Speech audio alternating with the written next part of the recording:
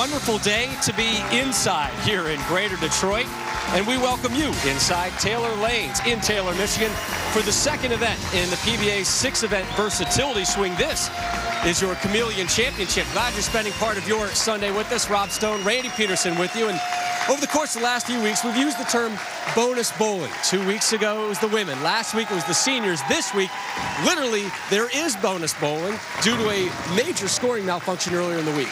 Originally, this tournament was slated to be a three a three match men's finals, but because of a huge computer scoring error, the integrity of the tournament was threatened. So an executive decision was made to add another match featuring Mike Machuga and Sean Rash. So today, the fans at home they get a bonus match. More bowling for the same low, low price. We're working to work just as hard, and bonus work for us. So we begin with Sean Rash taking on Mike Machuga. This is going to be a great matchup to start. The cranker versus the pure stroker. Mike Machuga looking for a second career title. And the winner of that one will take on Brian Kretzer, the big Buckeye fan. He's in enemy territory this week.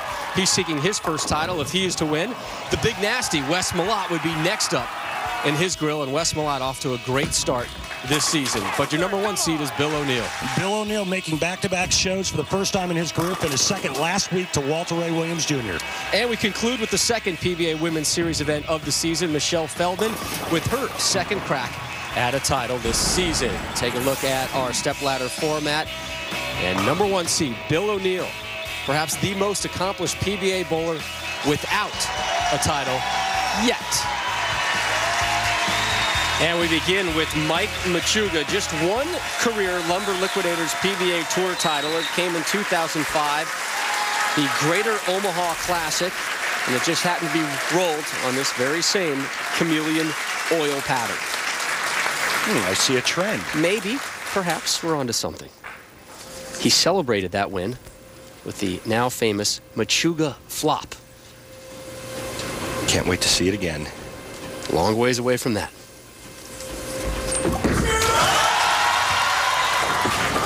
danced on that gutter for a long time, Randy. And we'll get into the oil pattern later, but you're not supposed to play the outside part of the lane on the chameleon pattern.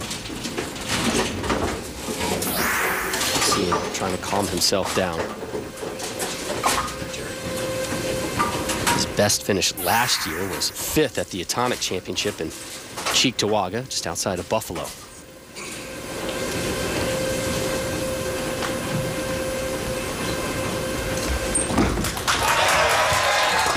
Great pickup. Saves face. That's how it's done, man. You can't draw it up any better than that. Get the one over into the 10. The ball will take out the two and the four. And Mike Machuga oh, avoids the early open frame. So up now, young Sean Rash, after starting his career 7-0 on television, he lost to Norm Duke in the first semifinal match of this season's first event, the PBA World Championship.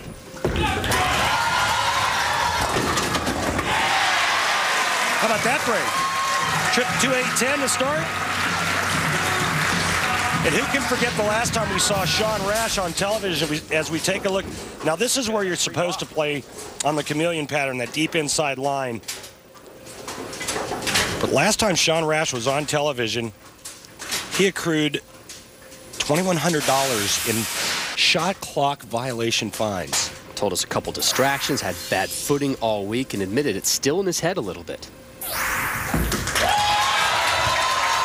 Oof, Brooklyn opportunity as that one went left of the head pin.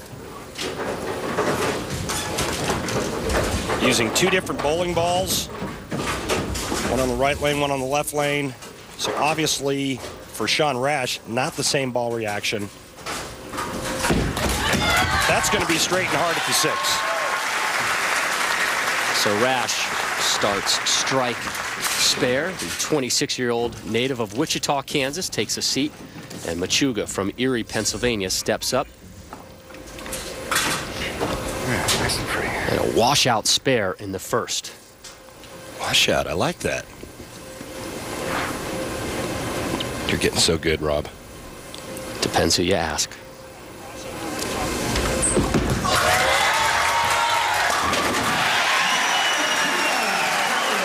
And one of the perks of the season for Machuga, his health is finally in order. And now I'm, uh, I feel like I'm as healthy and strong as I've ever been in my in my career, and and uh, all my little tick tricks and tools are starting to come back, and I feel pretty sharp. So I'm looking forward to uh, to a good season. Two years ago was a groin injury. Last year, hernia surgery. Both of those coming about three weeks before the season started.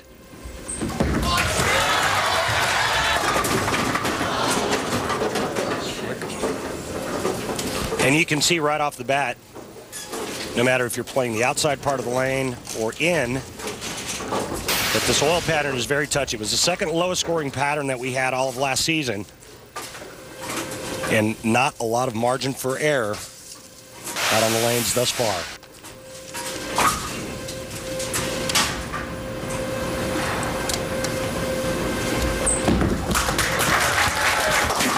Another solid spare pickup for Machuga.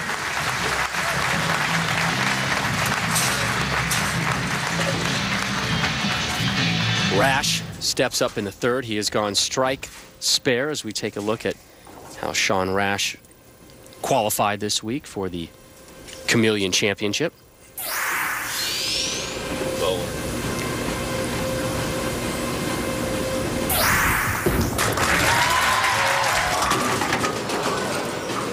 Another ball change, and that ball looked like a piece of charcoal. A lot of surface on it, very aggressive. And he's left himself with a really tough spare, of the 36910. But watch this doll. This is how you create power. Look at the cup wrist at the top, and then he just uncups it onto the lane. He does a great job of stabilizing his spine going to the foul line, Rob.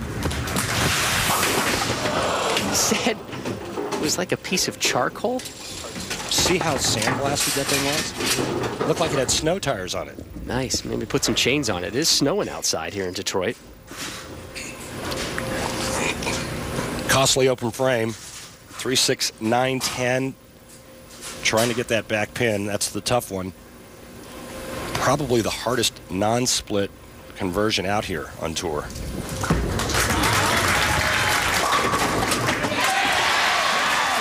Well, that one found the pocket and had the right delivery man to send that final message.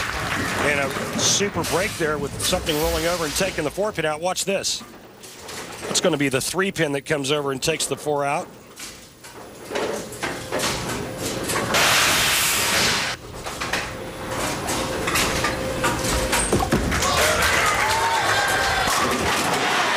Machuga's second strike. Oh, man, is he dancing with that gutter. And, you know, you can see this at release where his fingers are directly behind the bowling ball. Watch this, how his hand stays right up the back, just a slight rotation there.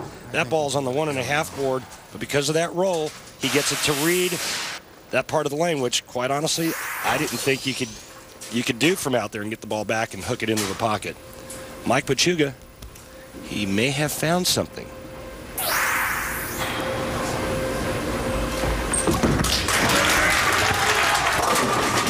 Yes, he has back-to-back jacks for the former All-American at the University of Nebraska. Love that angle with the ball coming right in your grill. Takes a lot of nerves, a lot of skill, and some maple moxie to be playing the one-two board on television.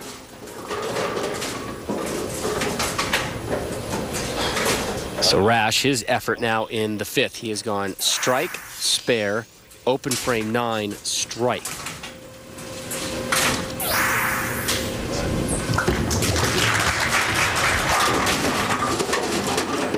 Messenger, not strong enough.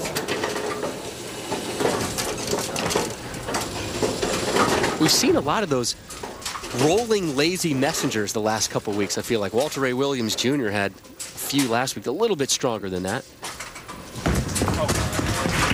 Well, last week, Walter Ray had one late that barely got the 10 out before the machine hit the pin.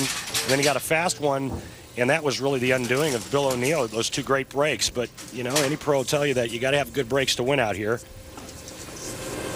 Unfortunately, Sean Rash was not able to capitalize on the trip for the frame before this. So now he's looking to start stringing some strikes down by 15, sixth frame.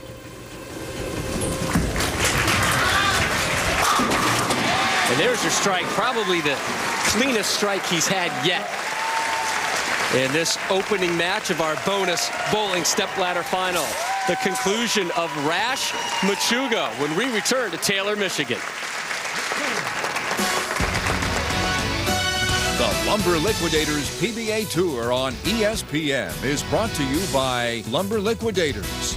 Hardwood flooring for less. By Geico. 15 minutes could save 15% on your car insurance. Visit geico.com.